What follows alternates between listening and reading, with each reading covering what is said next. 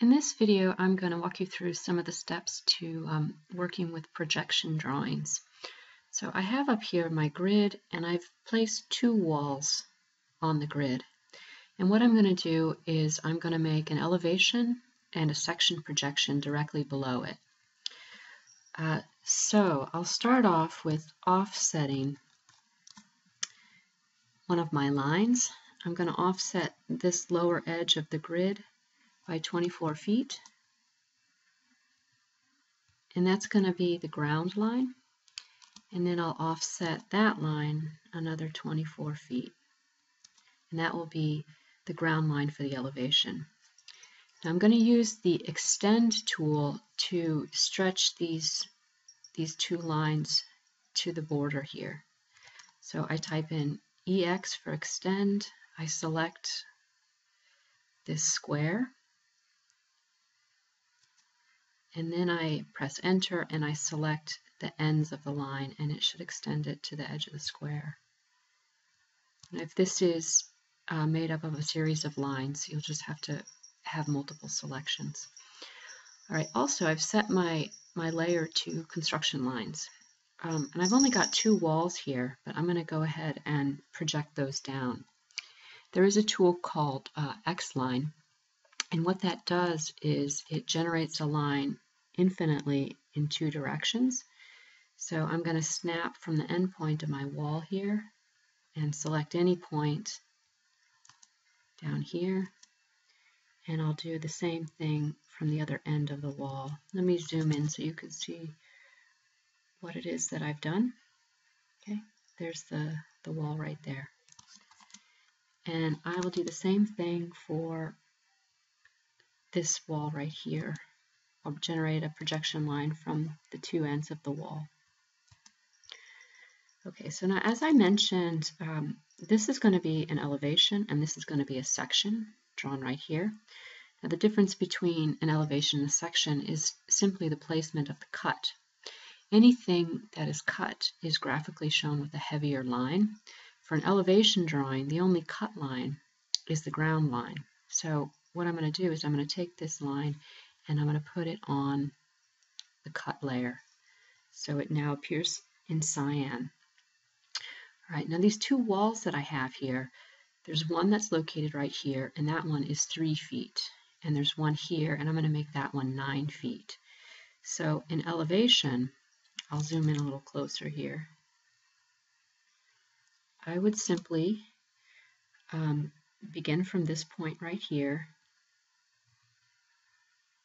Begin making a line that's three feet. Press enter. You know, I can use the perpendicular, or since I already know that this is an 8-inch wall, I could input 8, enter, and you'll notice before I did that, I led the cursor toward the right.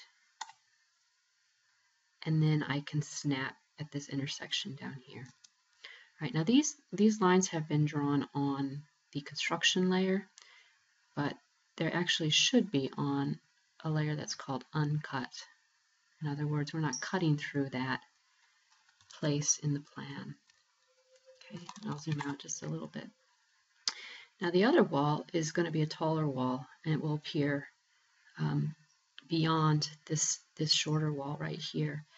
So I am going to this time, to save myself a step later, I'll make my current layer this uncut layer and I will begin by drawing a line from this intersection. Uh, lead the cursor upward, and put 9 feet, enter. Um, I will use the perpendicular object snap. I can add that to my object snaps.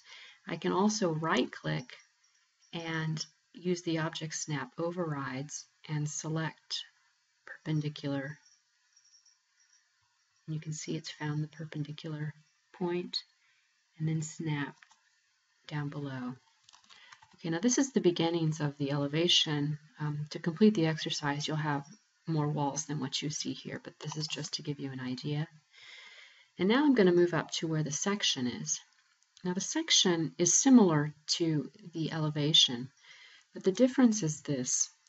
When I make an elevation, I'm cutting through only the ground So maybe my cut is here and I'm looking up in this direction and that means that nothing else is cut.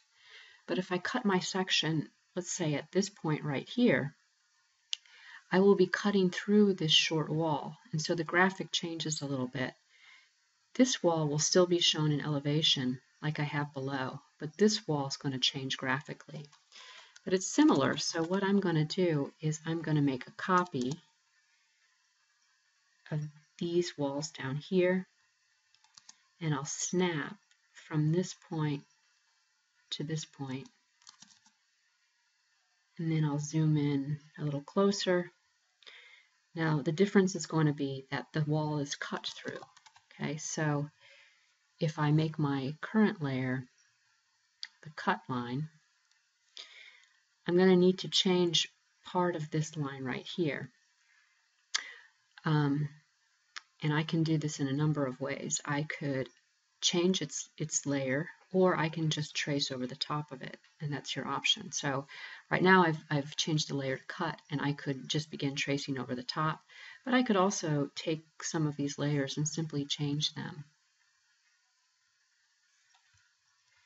Okay, and in this case here, I could put this, I'll click on it and then change its layer from the grid layer to cut layer.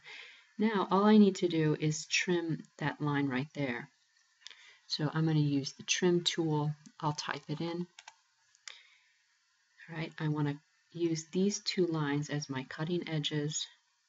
Press enter and then click on that little line right there. Okay, so let's take a look and see what we have. If I turn off some of these layers that make it difficult to see, turn off the construction layer, turn off the grid layer, and I can also, um, just to clarify what I see on the screen, turn off the grid that's part of model space. Right, so there's the difference between what you would see as a section cut and what you would see in elevation. And just make note that we're only interested in the spatial profile. We're not interested in what happens where that wall meets the ground. So any place that the wall does um, meet the ground and you're cutting through it, you would eliminate that line.